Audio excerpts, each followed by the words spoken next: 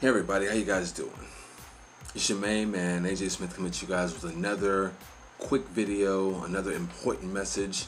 And this is a topic that not many people think about. We all know that we are being blessed every single day just to wake up, smell the air, see the sunrise, and know that the man upstairs is giving us another day to live and bless ourselves and bless others. And I believe the biggest blessing is that we're able to not only wake up and say a prayer, but also say a prayer for others as well. We often count our blessings before they even happen. Now, there's nothing wrong with that. Some of us will pray to the man upstairs for blessings, and those breasts, and those, some of those blessings will happen like this. Others will happen later on down the line we have our short-term blessings and we have our long-term blessings. The ones that are meant to happen right now and the ones that, are meant to happen later on in the future but for long-term use. But no blessing no blessing goes without its curses. Now just like there's those long-term blessings and short-term blessings there's also the short-term curses and the long-term curses. Now i know some of you guys don't want to believe in curses but come on for all the positive in the world there's the negative for all of the light, there's the darkness. There's that thing called the yin yang theory. But that's where the topic of this specific video comes into play. Like I've said in my other videos before, there's often ways to get rich and there's often ways to get wealthy.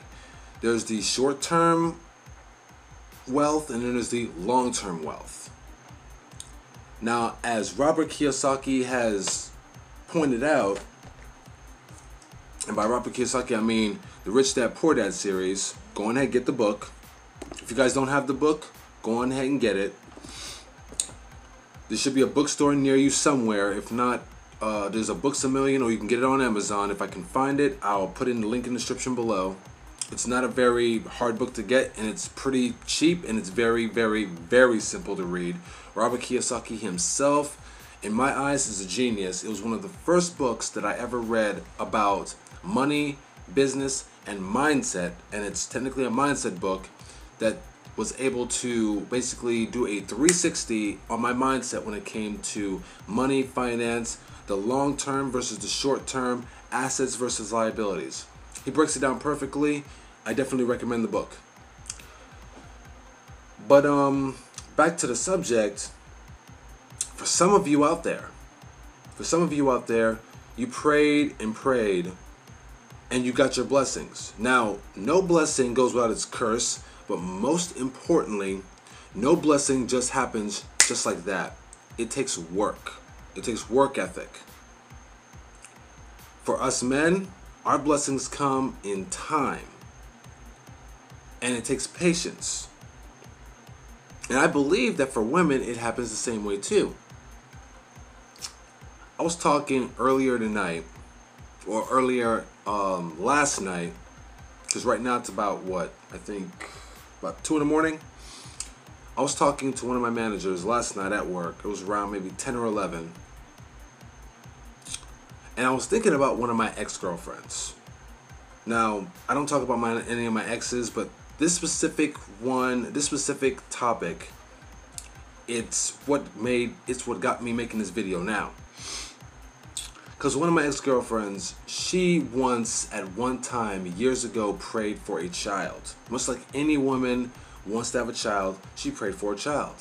At around the early ages of 20, 21, maybe 22. Somewhere around there. Now, there's nothing wrong with this wish. There's nothing wrong with this prayer. There's nothing wrong with praying for the man upstairs to bless you with a newborn angel. Nothing wrong with that. But this also brings me towards the the stumbling block that when you get what you pray for, it's not just about you getting what you pray for, it's how you go about it and what you went through to get it. Remember, there are blessings and curses. Now, a child is not a curse, but the circumstance in which you go about getting and having a child could be a curse. Just throwing this out there. But a child is always, always a blessing.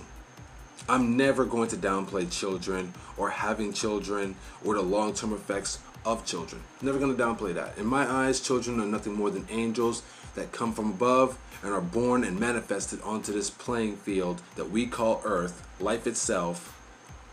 And it's a beautiful thing. Beautiful thing.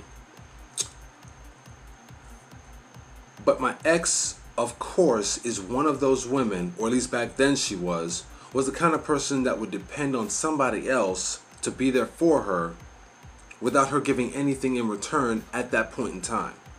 Now, I'm not throwing any shade, I'm just telling it how it is. Just telling it how it is. Far as I know, at that point in time and up till now, she is still a single mother.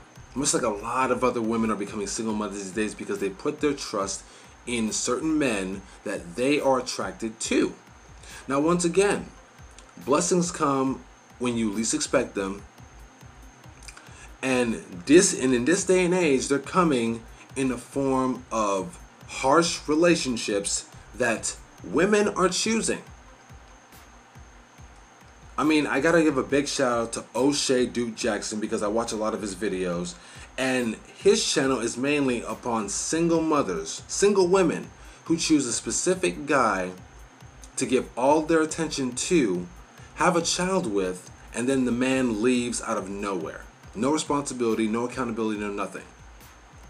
And then that single mother has to run back to another person, another guy who has the right mindset, who has all of his finances in a row, or at least is building a financial legacy for himself, and she has to go on ahead and try to use him and his resources.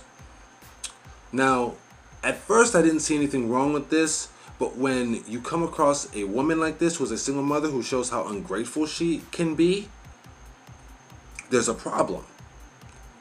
Now, I'm not bad mouthing anybody, but that brings me back to why I made this video in the first place. Because it seems like once you as a person get the blessings that you prayed for, get the blessings that you strive for, it seems like the only way that you can strive is by holding somebody else back. You don't hold yourself accountable until the last minute. That's why I said blessings versus curses. Short term blessings versus long term blessings. Short term curses versus long term curses. Does that make any sense? If it makes any sense, please drop a comment, like, share, and subscribe, and let me know what you think. Share this video with anybody else that needs to hear it. Now, once again, I'm not bad mouthing women, but I am going to keep it real. I really don't care if anybody see uh here sees this video and says, "Oh, he's bad mouthing women or single mothers." How am I bad mouthing women when it is their choice to be with the person that they are attracted to, that is not going to be there for them long term, they were good to that woman for the moment and then they left. And now that woman is either going to A, rely on a good man, which she should have stuck with to begin with, or B, stick to herself and be a single mom and feel like, oh, I can do this by myself. A woman has plenty of choices, and it seems like nowadays women are choosing the wrong guy. They're choosing a guy who's only good for the moment instead of choosing a guy who is good for long term use. I have nothing against the children. The angels are beautiful. Every woman who has a child, who has an angel um, born into this world, it's a beautiful sight. But you're giving the child, you're getting a child from a man who is only good for that moment. Once again, Long term blessings, short term curses. The short term curse was getting with the guy that did not care about you, that would abuse you and leave you, etc., etc., and he's not paying for a thing. The long term blessing was the child from 0 to 18 years. In my eyes, it's no different from choosing a bad investment from a good investment. It's no different. But women are definitely choosing the guys that they are most attracted to, and the guys that they're most attracted to either don't care about them and only want them for the moment, or have two or three different baby mamas with several children from each one, and you're just the latest person to be picked. And the most amazing part is some of you women, you don't care if the guy has other women and children with those women. As long as you can get that guy, you think it's going to be different. Instead of sticking with the guy that you know is short term. But I guess I can understand that. Why stick with what's easy where you can go for what's hard? Why stick with what is simple when you can go for a challenge and try to see if you can change the person that could not be changed by three or two or one other person? Once again, when you as a woman pray for a child or pray for a certain blessing and you get that blessing, why hold back the guy that you did not want to get that blessing from when he's trying to strive for a blessing that he has to work for? You got your blessing already as the woman. You got your blessing already. You wanted your blessing. You pr- you prayed for your blessing. You got it from a person that would give it to you, and you got it for the moment. You got a good time in the moment in the bedroom, and then you got the long-term blessing, which is the child. But why block a blessing from another person that you did not want to have a child with? And let's say that the good man, the decent man, who has his mind in a good place for the long term, let's say that man did want to have a child with you, but he wanted to wait on it. He wanted to wait till he had a financial foundation that he could um that he could use to back up that child in all ways, shapes, and forms. You as the woman did not want that. You as the woman did not want that. You did not want to have a long-term financial uh backing compared to the short-term financial backing that you have now. You'd rather choose government assistance, food stamps, and being alone rather than being with the guy who has the right mindset and wants to start a business and wants to have some kind of financial backing with investments, etc. Far as I'm concerned, for some people, like myself included, for some guys like myself included, we've dodged a bullet. Once again, big shout out to O'Shea Duke Jackson for all of his good content because he is definitely helping men like himself, like myself, and others figure out that we have made the right decisions by not giving women what they want. And since we did not give the women what they want when they wanted it, they went and found somebody else. It's just like that saying goes the grass is always greener on the other side. Well, quick question, ladies. For all of you single women out there who had a good man that you could have had a good family with, a good financial backing compared to the life you have chosen with somebody else that did not stick around, is the grass greener on the other side? Is the grass greener on the other side? Ask yourself that question. I'm not talking about are the kids a burden? Are the kids a curse? No child is a burden. Every child is a curse. No, actually, that came out wrong. Every child is a blessing. But is the financial backing a curse? Is doing it by yourself a curse? Think about that. Think about that hard. And to be honest, it must be. The challenge of doing it by yourself, it must be a curse. Because the same woman who I was talking to one of my managers about, I'd say about a few years before COVID 19, before 2020 started, I was given a call by one of my exes saying, I'm sorry. This is the woman, by the way. She's the one calling me, telling me that she is in her feelings and that she should have chosen me. That is something I did not expect.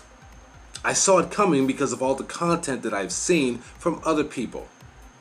Once again, big shout out to O'Shea Duke Jackson. Once again, he's always back at it again. Big shout out to him. Once again, if you are enjoying what you are hearing, like, share, and subscribe. If you are interested in any financial backing when it comes to free money, all of my links will be down below. Robinhood, M1 Finance, um, Webull. Get your free stocks by putting in as much as $100 at least. If you're interested in earning free money, click the links below to either Chime, One, fin- um, One Finance, um, Ally Bank. Go on ahead, take advantage of all this free money that's coming up.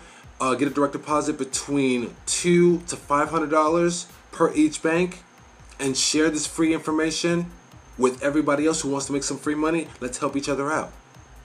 Let's help each other out. Because apparently, some of these ladies who are choosing other men to just have kids with, and they don't care about the decent men who want to have a financial future, apparently we're in it on our own. So let's do ourselves a favor and let's help each other out.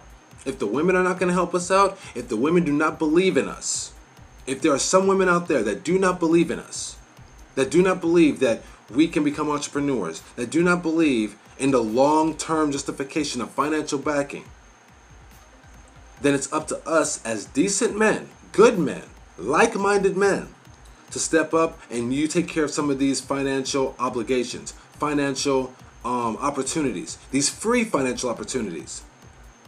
I'm not saying don't rely on the government for stimulus checks or free money or housing or whatever, but let's get in on some of these free bank and brokerage apps and get into some free long term wealth and short term money.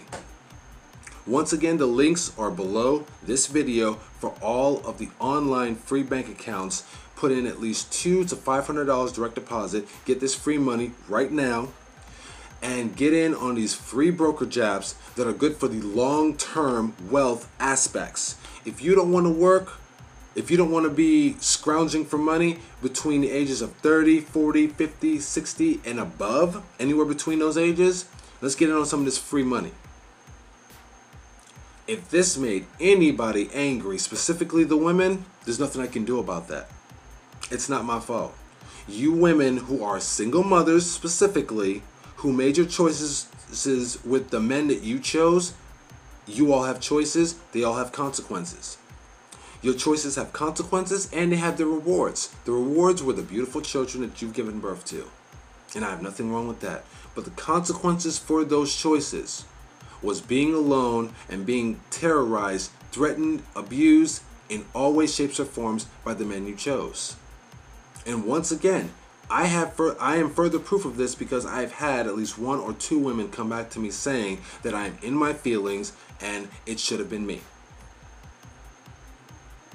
So you guys have a great day, have a great night, depending on when you're seeing this. Many blessings to you all, both men and women alike. Love, peace. Namaste.